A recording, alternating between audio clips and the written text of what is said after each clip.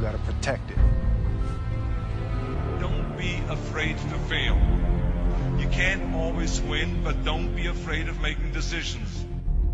You have to believe that something different can happen. He who says he can and he who says he can't are both usually right.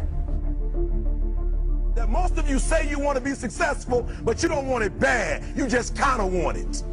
You don't want it badder than you want to party. You don't want it as much as you want to be cool. You, most of you don't want success as much as you want to sleep. Dig deep down, dig deep down, ask yourselves, who do you want to be? Figuring out for yourselves what makes you happy. Make a choice.